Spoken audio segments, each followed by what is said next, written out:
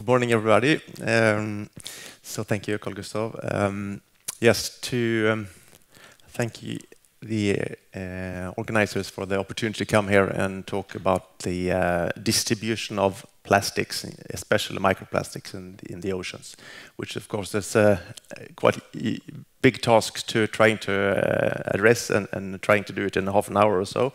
But I'll certainly do my best to try and I'll choose to take first a bit of a global outlook and then narrow down more to, towards the Baltic and the uh, other regional seas around Sweden.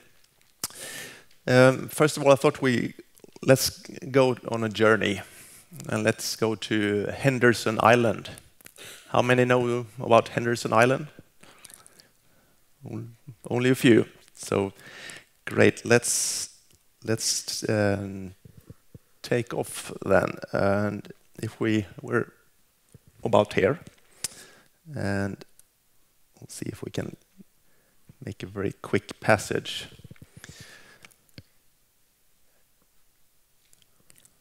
And here we go to Henderson Island in the middle of the South Pacific.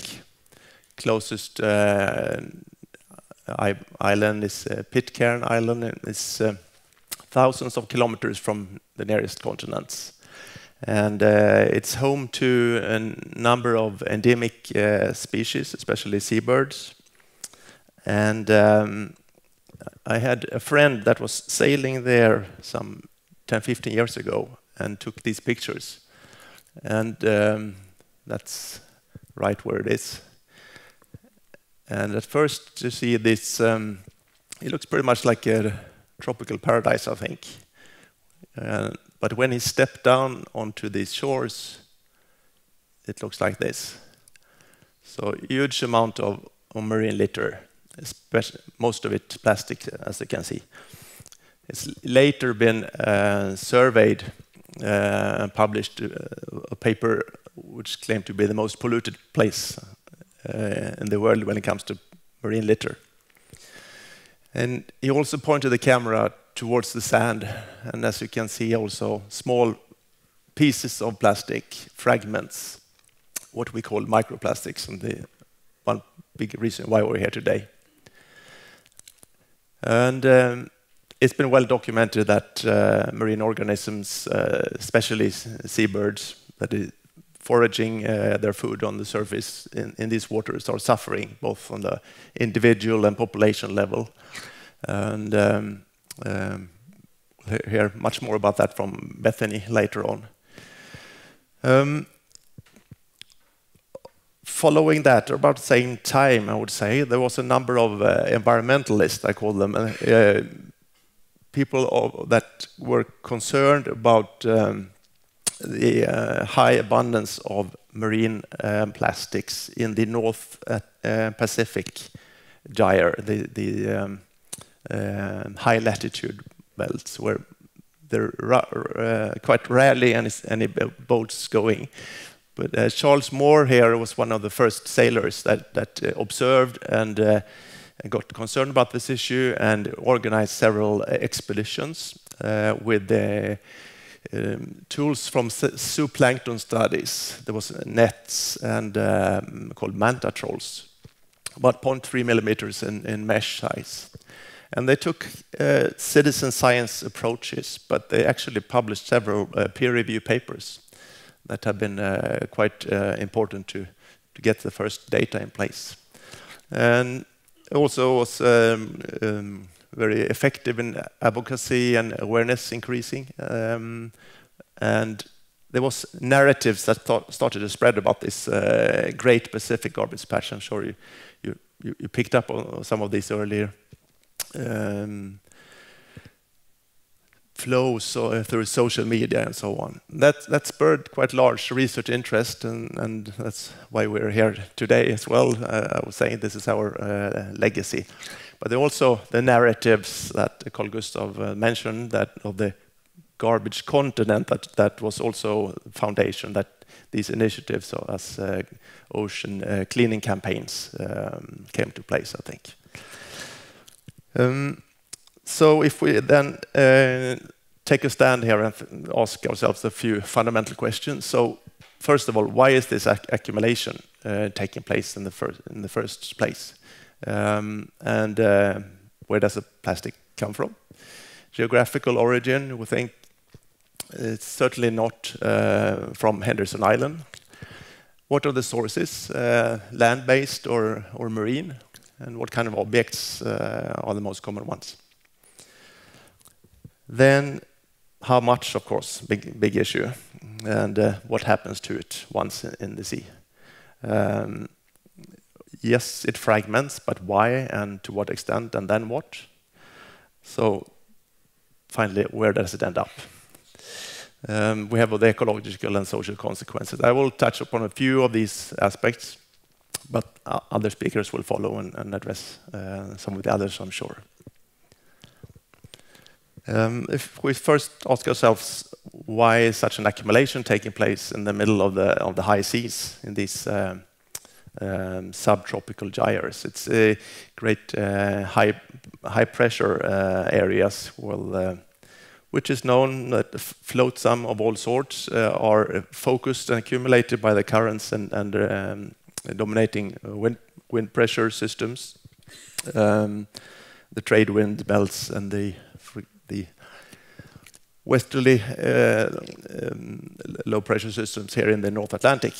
Um, there's been lots of data gathered by ocean drifters, satellite buoys that is drifting around and, and collecting data for oceanographers to develop models and simulations, such as this my, uh, my colleague Göran Broström. And this was a simulation that he did uh, for a report we, we made to the last uh, UN Oceans Conference to ask about what are the consequences for uh, small island development states of the marine litter, for example, here in the Caribbean. So he, released particles um, color-coded from different regions, so you can see how they spread around. And uh, they are released for two years, and then the release stops. So then you can see how it uh, persists and, and uh, accumulates. So for example, from the the South American coast, you see it goes into the Gulf of Mexico, while the US release goes more out here. The, the European one is partly going northwards and partly to this uh, gyre system.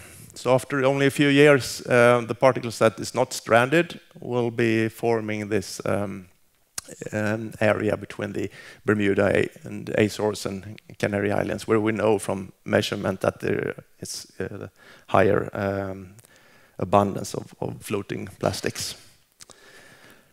So then, how how much was the next question? How much enters the sea is, of course, the most important uh, to us, and where. Um, well, we have quite good statistics, at least when it comes to the global production the, the, latest numbers now are up in the 350 million tons range per year. But, um, what of course needs to think about this is annual production. So in many senses, the, the, the cum cumulative uh, production is also important. And Jenna Jambeck and colleagues did this study where they looked at production, use, and fate of all plastics ever made. So that's taking this uh, cumulative approach. And their estimates uh, of all production that had ever been done, um, looking at the flows in society, estimated roughly 5,000 million tons uh, could have been discarded, meaning putting in landfills or lost into the natural environment. And of course, we need to think when we start thinking, okay, where does it go? On the sea surface, sediments, beaches. That some of these areas are more of a transient, while others are more of an accumulation area. Some may be cleaned up, like beaches, but others, like the deep sea, is not. So if we then think of another paper that uh, Jambeck uh, made, uh, quite influential, about where does the um, um, waste, uh, plastic waste being emitted? What, what are the main uh, polluters when it comes to countries? They took the global plastic production, uh, the level of waste management systems, and some other assumptions. And they combined that with the coastal population, that the population within 50 kilometers of the coast. And they modeled the potential of each country to, have uh, plastic waste going into the ocean. And then they, did color coding, where I think uh, China is above 5 million tons uh, of, of potential pollution. So um, this, of course, uh, indicates, um, based on these parameters, large coastal um, population and uh, the undeveloped waste management system, where there are um, big opportunities to make big difference. I will not point any fingers to, to the countries in Southeast Asia here. Think about the waste, the level of, of plastic waste that have been exported to these countries. I think just say that there is large opportunity to to uh, work with projects to help building up a better waste management system. And there is lots of initiatives going on, which is very nice to see as well. Um, so if we then, that was modeling. Now let's look at some, some measurements, some data. Uh, this was the, um, the first uh, paper that uh, Marcus Eriksen of the Five Gyres uh, worked together, and Charles Moore, the, the, the, two NGOs I mentioned earlier on. They worked with um, scientists from both um, modeling and measurements side in trying to take their um, their data points, which was quite unique in the sense uh, at the time in 2014. But on the other hand, you see there is not that many data points if we think in the global global context. These are the different size fraction they, they measured uh, with these trawls and the abundance that was captured in terms of particles per square kilometer. And um, they estimated that possibly about 250,000 tons uh, were um, accounted for on, on the sea surface. So um, compared to the potential of plastic waste entering the sea from Jambeck et al., roughly then uh, on the range uh, 10 million tons per year. It was a small number that was found accounted for on the sea surface. Also in this uh, Cózar paper, uh, the Spanish expedition um, also did a global survey, took a lot of, of samples, similar uh, methods. They accounted for some tenth, tenth uh, of thousands of tons only. So um, it's, it's, again um, pointing out that although there was high accumulation in these subtropical gyres, it's not massive in terms of, of, mass. This was later, uh, more recently, um, improved by um, Lebreton et al. This was actually a study funded by the Boyan Slat team of the uh, ocean cleanup. With big uh, resources here, they also did an aerial survey. There was lots of trawls, both for microplastics and mega or, or ma macroplastics, larger uh, mesh and sizes. And also this, this aerial survey to look at the megaplastics. Think about the big lost fishing gear and, and other large um, pieces of, of uh, floating litter. And they actually um, uh, um, uh, revised uh, the estimate of the North, Atlant North Pacific garbage patch to be four to six times higher than previous estimate in the in the order of uh, um, of uh, 45 to 130 thousand tons in the North Pacific garbage patch alone, and that's mainly attributed that, that they can statistically capture larger items. And um, we can see here, um, so the, the megaplastics and the macroplastics make up most of the mass, while uh, it is the smaller sizes that makes up more of the abundance. Is natural, but to think about it is, if you want to estimate the mass balance, you need to, to statistically capture the larger items. But maybe for an ecological point of view, the, the smaller sizes are the more uh, relevant. So um, the next step was floating or sinking. We all know polymers come in different densities, and there are these types of, of uh, pedagogic examples are often seen. What what should be sinking and what should be floating. Um, I'll, I'll, tell you a little bit a story from a, a friend of mine um, and uh, a previous retired colleague of Ignacio that we'll talk tomorrow. Uh, Arne Holmström, that in the early 70s he had a recent PhD in polymer chemistry, and um, some of his uh, neighbors in, in Smögen was fishermen and said that we're getting all these uh, plastic bags in, in, the bottom trawls. Uh, you, are working with plastics, can't, can't you do something about it? And he, raised the issue at some, some meeting, he told. Um, but it was, uh, it was um, neglected, you could say. You should know better. You have PhD in polyethylene chemistry. You know polyethylene is not sinking, it's floating, obviously. But he didn't, um, he was uh, stubborn, per per persevere, and uh, got some samples and studied the, the biology and the polymer chemistry of, of these plastic bags and could actually then show that it was first uh, oxidized, uh, so the surface was more attractive to biofilms, and it was uh, both uh, lithoderma growth and, and bryozoans, and eventually it would start sinking. And he actually published this in Nature in 1975. I think it was quite quite good feeling for him. But apparently, uh, unfortunately, this had been a bit of a uh, forgotten topic until more recently when this plastic issue is up, up on the agenda again. Um, but what, how much uh, micro and macroplastics do we find in sediments? Well, that, there is not. There is, if there is little data on the sea surface, it's much less on sediments.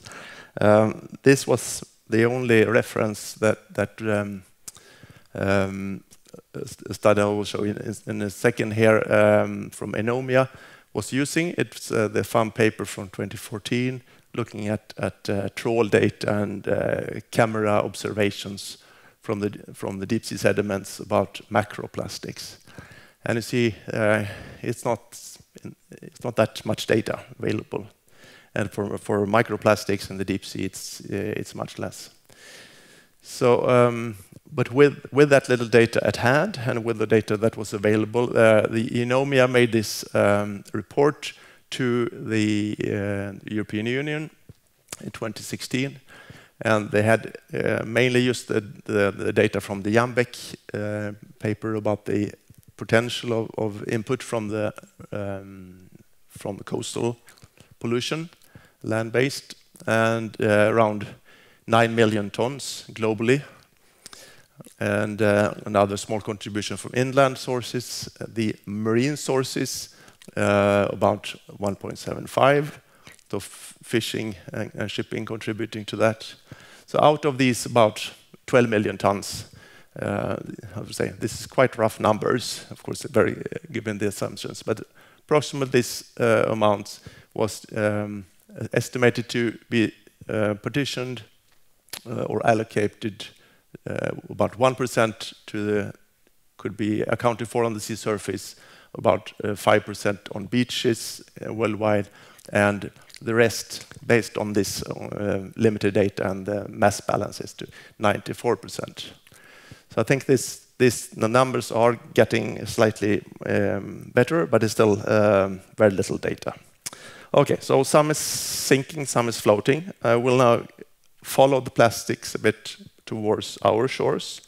This is another uh, simulation from Göran Broström. Uh, we know from, um, I mean, from local knowledge on the Swedish west coast that driftwood, I mean, milk cartoons in the past and nowadays plastics is uh, coming from all the North Sea neighboring countries. And um, this simulation shows also that uh, there is, if you release particles here, simulating that things come from the North Sea countries. Due to the currents and wind uh, and the geography uh, here, there is lots of capturing on the north, northern Bohuslän coastline. And uh, this has also been um, confirmed on, on beach litter uh, surveys um, that is uh, done in this uh, comparable manner from the Gibraltar uh, all, all, the way to the North Cape. The Bohuslän coastline is the most impacted uh, in the entire region due to these factors. and um, um, but that that's macroplastics. We did a study on microlitter on the Bohuslän uh, archipelago and close to the urban areas, Gothenburg, Stenungsund, and Uddevalla. And if we look at this, uh, one of the exposed sites, um, we can see that among the urban and these uh, outer sites, this is uh, very high. This is randomized and hotspot sample. So the, the, the uh, this is a hotspot sample, but you see in both cases it is Stenungsund and it is this uh, island that is um, much higher than the others. And the the um, uh, the nature of the of the particles is not that different from the Henderson Island fragments, irregular, um, but also um, paraffin in the micro form, and, and these microspheres that we're quite intrigued about. What, what, what are they and where do they come from? Um, now we'll go a bit more into the measurements and so on, but just want to say a bit, we need to discuss what we are, what are we talking about. Uh, definitions is important. Um, this um, report from GESAMP uh, that was summarizing the state of the art um, of sort of consensus uh, of all papers and discussion reports that have been out there.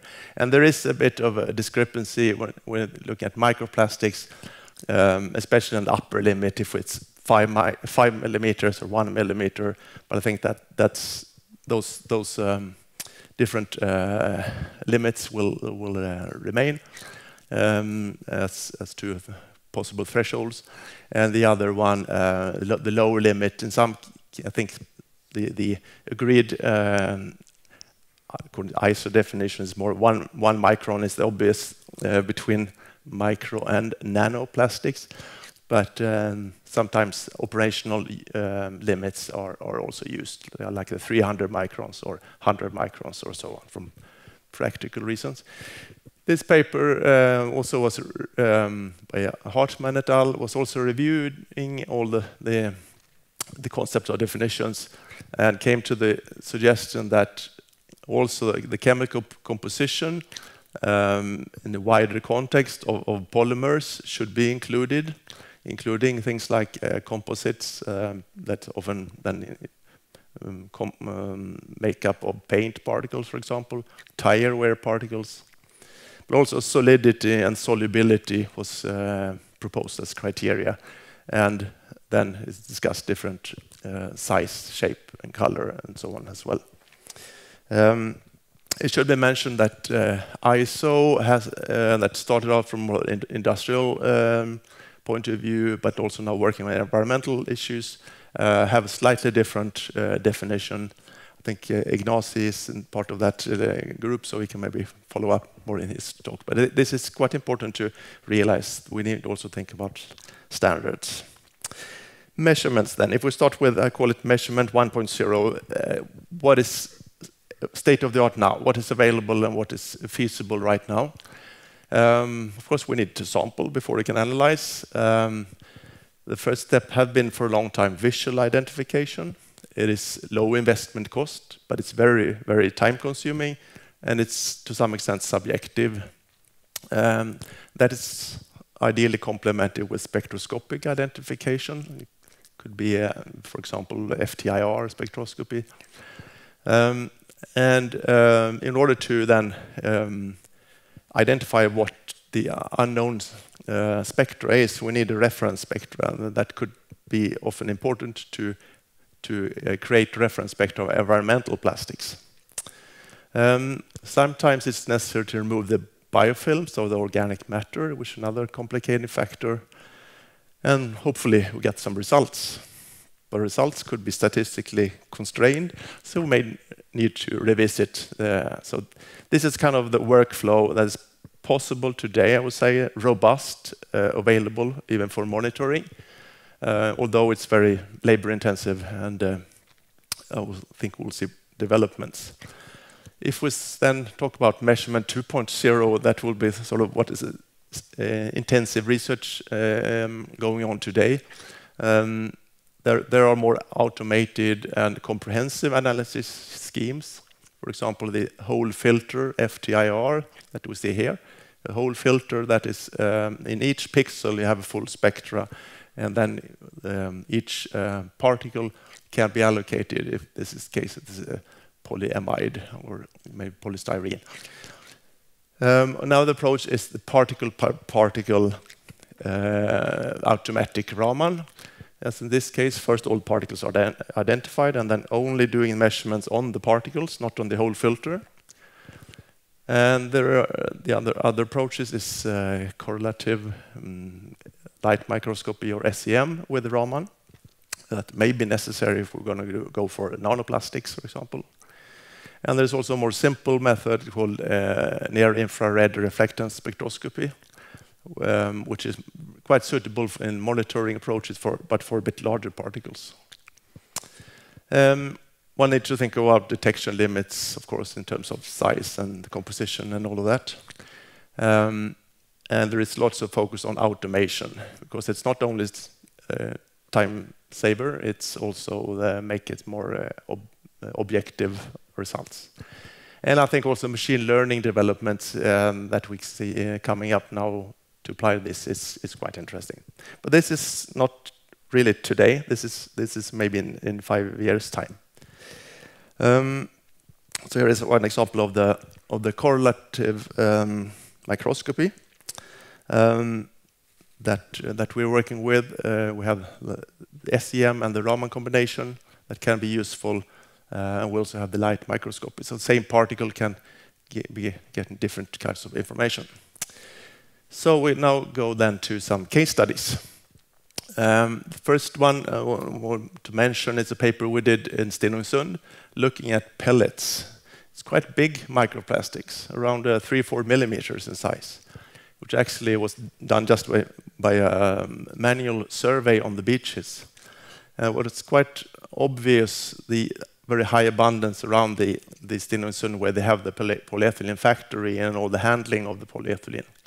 Um, but it also spread in the, in the archipelago and decayed further away. So this was, we looked into also the legal issues and, uh, and, and, and the, um, why this could be uh, happening still, although it was known issue since the 90s.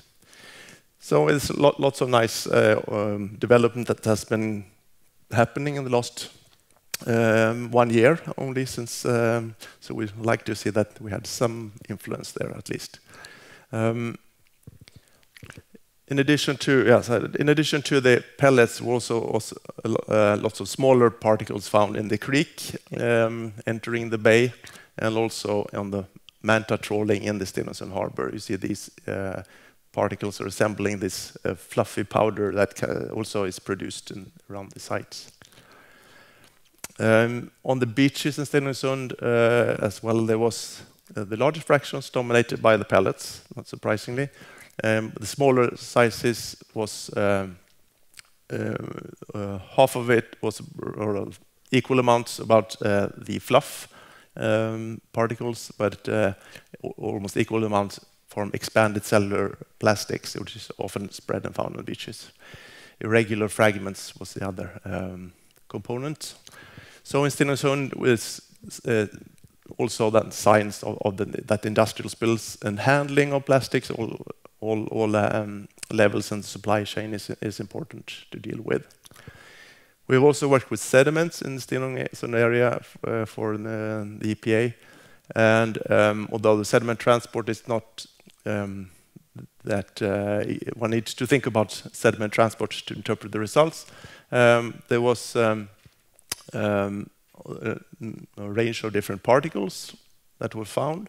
Um, polypropylene and polyethylene that we don't cannot really say to what extent it may come from industrial production or from general fragmentation of, of uh, consumer litter. Then there was uh, a, a, large proportion of PVC that was very irregular in shape and size, which is the other plastic factory in Stenungsund. PVC is, is a very uh, much heavier uh, density particle as well. Um, so in larger fractions, um, this, the um, Semi-transparent fragments was the most common ones, and the polymers that was identified was mainly PE and PP, uh, some PVC in the larger size fraction, above 300 microns. But in the smaller size fraction, between 100 and 300, it was mainly the white white fragments, those um, that we had identified as PVC. So Stenungsund sediments also had distinct signature of the PVC, also PE and PP, to at least to some extent, can be related to the local spills. So I think that needs to be worked on um, more uh, systematically by the authority and the industry uh, to look at the things. Then we had a case study in uh, Uddevalla city, out to the fjord, um, with the aim of trying to identify main sources of microplastic from a normal Swedish city to the to the um, marine environment. And Uddevalla is kind of Uh, had had the uh, filter of islands outside, so it's not massive uh, influx of long-range transport. So, um, we did both water and sediment samples, taking samples in the gradient here for trawling, manta trawling, and took a sediment sample in the fjord. So the manta trawling had one station, well, all stations were close to the city, it was higher, but this just uh, in the mouth of the of the creek here was much, much more higher than the others. So this station um, four was dominated by uh, LDPE fragments, which were puzzling us a bit. Uh, it is close to the wastewater treatment plant outlet, but if if that could be the case, we don't know. Um, the other common um, um, compositions are expanded polystyrene. If we then instead go to the sediments, the particles look quite different and made of different polymers. Um, we do see the light polymers like polyethylene, but also more heavier, like PMMA and PC, solid polystyrenes. Much more black particles, some uh, uh, soot, but also these black elastomers that we had not never found in surface waters or on the beaches. Um, so the distribution of of the particles looks like this. We have the larger fraction, the 300 microns, and the smaller fraction, 100 to 300. So for round fibers, we have, first of all, some contamination uh, issues. So fibers is very difficult to work with, um, because they are all over, all around us in the lab. Um, there are slightly higher concentrations around the innermost stations than further out, but um, fibers seem to spread out in the system. Identified polymeric particles, uh, again, um, not so clear on the largest fraction because there are very few particles, but in the smaller fractions, it is a distinct difference, Um, inner stations to the outer. But again, it is uh, um, the the, variability is quite large. Paint particles um, was highest in the uh, in the stations related to the shipping harbors or the commercial harbors, and uh, decreasing further out in the gradient. And then we have the black elastomer particles, which is not that many on the um, larger fractions. You see there, um, but they are very close to where we have uh, traffic uh, and um, the roads uh, surrounding here. For the smaller for smaller size fraction, that's where we find most of the black elastomer particles. And as you see, it is quite rapid decaying trend towards the outer stations, but it was very, very high abundance. So if we compare um, the two size fractions, uh, what are the most dominant uh, forms? We see that uh, fibers and the black elastomers are the two most dominant compositions. And so how much is much? Um, that was something that Christian will address, I think. But just to see our studies and also the study in the Roskilde Fjord, in our parts of the world, say roughly around 10,000 of particles per kilogram dry weight. And, and that is compared to the few studies that is available, it's quite, um, quite high, I would say. And, um, but there is big issues also with comparability, the protocols, the size ranges, um, so still it's hard to make um, very good comparisons on a, on a larger, larger scale. Um, I think I had a few slides on also on uh, marine sources, but I think we'll skip forward to that so we have more time for, for questions. And uh, I'd like to thank you for attention.